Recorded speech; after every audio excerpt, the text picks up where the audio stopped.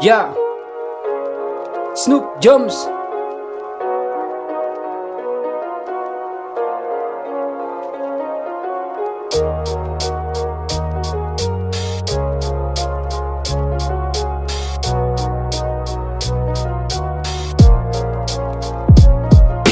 Ako ay nagbigla nang marinig ko ang kwento ng isang pulisman na pinatay ng kabaro Oo di na bago yung kaya sistema ang baho. Ng amoy at tumambay sa ilong ng mga tao. Pustisya ang sigaw ng naiiwang pamilyang binaril na pulis na si Jefferson Valencia. 24 na gulang may anak at asawa. Sino na lang ang tutugon sa kanilang pangungulila. Marami siyang pangarap bago lang nagsimula. Magbunga ang lahat ng kanyang mga chinaga Sa isang okasyon lang pala mawawala. Dahil sa isang pulis na maoy pagka nagtama dapat sa ganyan pinipitpit ang bayag Dinidiktik. Pag pumalag o sumagot ng balagbag. At kung walang ustisya, nako bahala ka nagad Magkabarong na turingan sa batas ng alagad.